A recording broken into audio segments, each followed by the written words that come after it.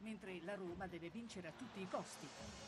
Al 75 minuto Bruno Conti spedisce un pallone insidioso nell'area di rigore bianconera.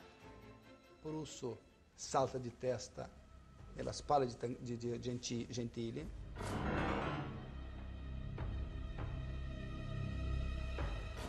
Ho messo questa palla in mezzo e ho visto sbucare un giocatore dei nostri. Lui colpisce di testa a me, io arrivo, non riesco a arrivare, vuol dire che stavo dentro la linea del pallone, che vuol dire che io non ero, non ero in fuori gioco io.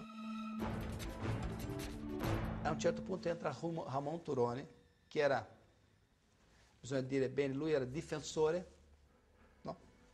non poteva essere già lì, perché era un difensore, veniva lui perché era una giocata di contropiede e si butta di, di tuffo e fa un gol.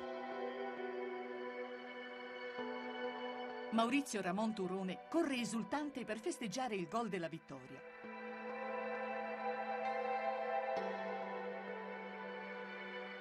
Ma viene freddato dalla bandierina del guardalinee. Fuori gioco, il gol è annullato. Nessuno mai ha detto il fuori gioco di chi era.